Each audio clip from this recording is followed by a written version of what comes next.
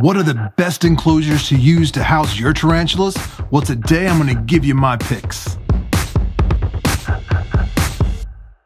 Welcome to the Tarantula Collective. My name is Richard, and if you enjoy species specific care and husbandry videos or all things tarantula related, make sure you subscribe and hit that notification bell to turn on all notifications so you don't miss any content I come up with in the near future. One question I get asked a lot in the comments of these videos is what tarantula enclosure I'm using for this specific species or what I would recommend someone use for their species. So I decided to make an entire video focused just on different types of tarantula enclosures for all stages of life. This video isn't sponsored by any of these companies. These are just my picks of enclosures that I like to use and use a whole lot here in the collection. Hopefully it'll help you out.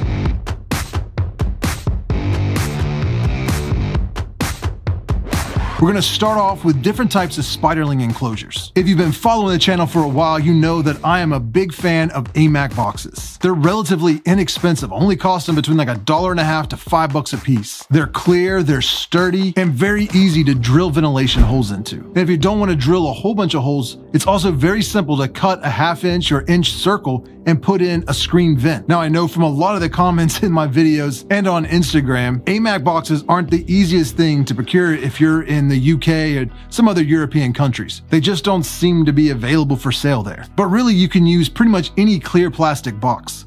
One thing you need to look out for is that it has a lid that fits very securely. Almost any hobby shop anywhere in the world has clear boxes to store like just random trinkets and jewels or sewing supplies. I mean, you name it. I just go to a hobby shop or a art store and usually can find some kind of clear box that people use to store brushes or any kind of art or hobby equipment. You just need to make sure that that lid fits very snugly. And if it doesn't, then you need to come up with some creative way to maybe attach hinges or some kind of lock, some, some way to keep that lid securely fastened. But when we're talking about spiderlings, it really doesn't need to be very big. Your enclosure only needs to be about three times the leg span of the T. So if the tarantula is less than an inch, two to three inches is about all the space that it needs to provide. If you have a hard time finding AMAC boxes or even small clear containers, another thing I can suggest is hitting up a hobby store or a card shop and getting one of the containers that they use to house baseball cards or magic the Gathering cards. They're usually deep enough to hold a couple of decks, and they have a little locking mechanism on them, so it makes them ideal for tarantulas. The plastic sometimes can be a little more fragile than your AMAC box plastic, so you need to be very careful when drilling in ventilation holes. But for your basic terrestrial and maybe even small fossorial tarantulas,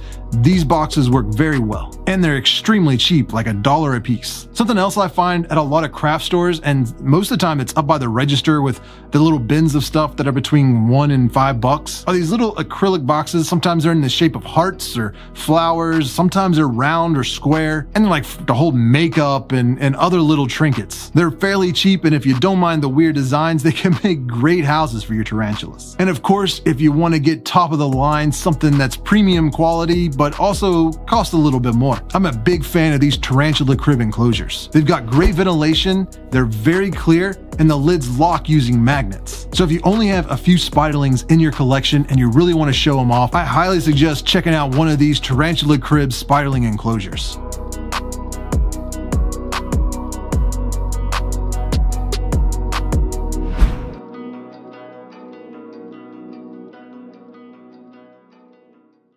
Now, when it comes to juveniles, we need a little bit larger enclosure. And again, going by that rule of thumb that we need at least three times the leg span of the tarantula, we're looking for enclosures between three to six inches in size, maybe even a little bit larger. Again, you can find AMAC boxes on websites like the Container Store, I'll have some linked down below in the description in my Amazon storefront that you can check out.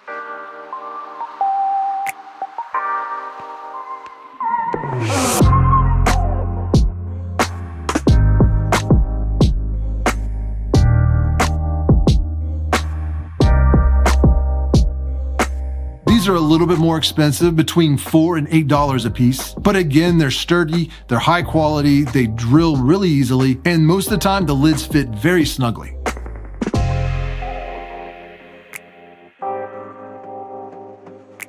Tarantula Cribs also makes some great high quality enclosures for this size. Some lids with the magnet lock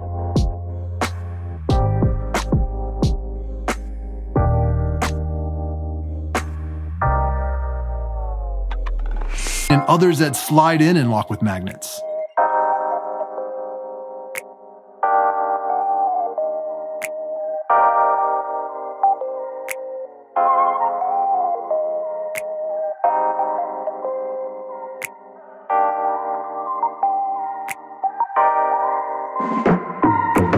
They look great and they work amazing. If you're looking for something a little less expensive, I suggest checking out Pioneer Plastics. These are also available at a lot of different hobby stores around the world. But they're display cases for G.I. Joes or Barbies or just different kinds of model cars and dolls. You just want to make sure you get the ones that have the clear top and not the solid wood base. But they provide ample room for all types of different tarantulas, whether they're fossorial, terrestrial, and you can even modify them to work well for arboreals. They're made of a very clear and durable acrylic that's easy to drill into. You can even melt the ventilation holes into them if you don't mind the smell. They're gonna run you anywhere between like 10 to $15, some of the larger ones being almost as much as 20 bucks. But if you've got a drill or a soldering iron and you're just looking for a cheap, easy enclosure, I've been very pleased with how they work out. And of course, if you're looking for a high quality glass enclosure, Exoterra, Zilla, and a few other companies make some amazing glass enclosures. These pretty much just work for your terrestrial or semi-arboreal species. And you need to take into consideration the fact they have a mesh lid that you may need to retrofit with acrylic so your tarantula doesn't chew through it or get their feet stuck in the mesh. But if you're okay with retrofitting those lids, they make great tarantula enclosures. You just can't use them for fossorials because they don't provide nearly enough depth.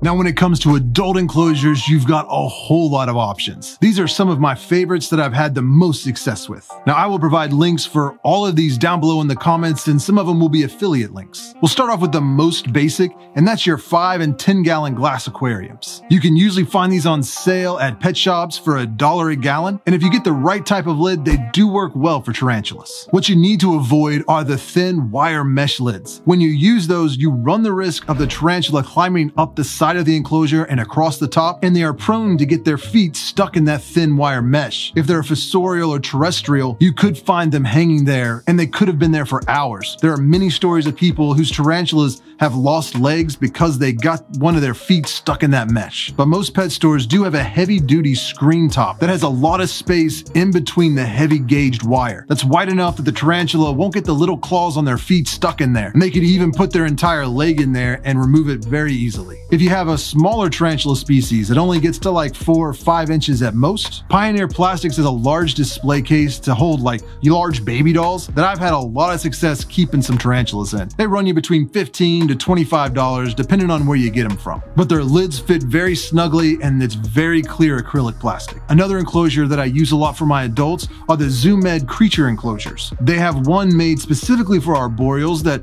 works pretty well for your smaller arboreal tarantulas. You can see I use a lot of them right back there. I've also had a lot of success using those enclosures for my fossorial tarantulas. And you also have all of the reptile enclosures that are made by Zilla, ZooMed, and Exoterra. When it comes to arboreal enclosures, that's usually my go-to. I like the cross ventilation they provide and the heavy duty glass. Again, the downfall of these is the screen top, but it's very easy to rip that screen out and replace it with acrylic that just has some holes drilled in it. But these companies like Exoterra also provide some good options for your terrestrial tarantulas. I use a small wide enclosure that measures 12 by 12 by 12 for some of my semi-arboreal and terrestrial tarantulas. You just want to make sure that you use enough substrate that the tarantula doesn't have a long way to fall if it were to climb to the top of that enclosure. And for my Theraphosa stirmi bioactive enclosure, I use the tall long, which I believe is 12 by 18 by 24. It gives me plenty of depth for the substrate so that it can do a little burrowing, and it's long enough that that large tarantula has plenty of space to roam around, while also being short enough that I don't have to worry about that species climbing to the top of the enclosure and falling down. And in that enclosure, I also removed the screen lid and replaced it with sheets of acrylic that I drilled large holes in. And my favorite, but also probably one of the more expensive options,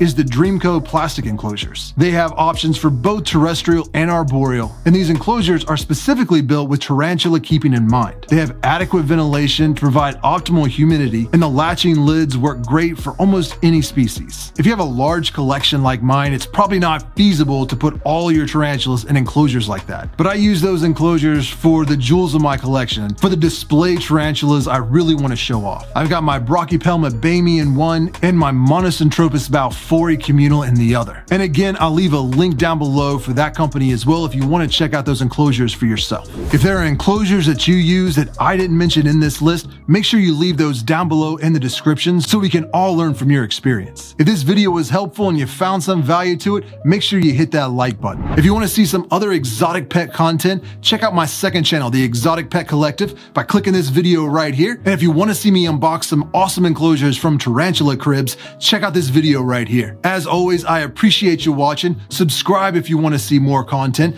Thanks for buying Tarantula Collective merchandise, and I will see you next Tuesday. Thank you.